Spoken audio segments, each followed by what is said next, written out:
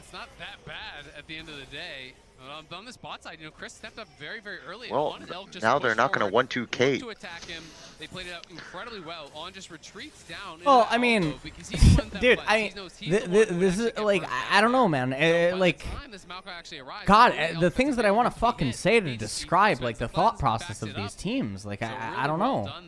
They they literally blind Varus and Ashe into you. Which we, we, we, we saw this into Caitlyn, by the way, in spring. We saw it. We know what happens in the lane. They pick Lux anyway. Easy, but maybe aggressive in this lane. It's like it's like I'm watching like a fucking wildlife insect documentary. It's like they're, they're just a fucking nor- neural network.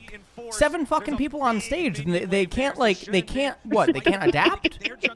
I'm getting no. I'm Would actually rather- pissed. They're fucking insects. Like like like it- oh. it's like they, they can't adapt their their level up, thought. So he has that level advantage. Like, what the fuck? Do you, what, what do you want me to say, by the way? you're pick Lux, you know exactly what's gonna happen in the He needs to lane. make sure that he's able You know what's gonna happen. Jun, if he We, we already experienced it. This isn't like a new thing. Wouldn't be surprised if he stays around Would you Caitlyn Lux versus Varus Ashe.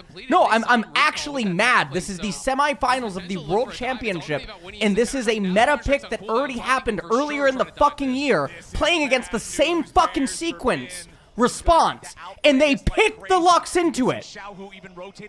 Then they opted into losing matchups. So, what do you want me to say, Sam? What do you want me to say? Would you rather him pick? Senna? Why- why is my phone blowing up? Because he said insect on stream, man. Ooh, TOS, ooh. Insect's not even bad. What?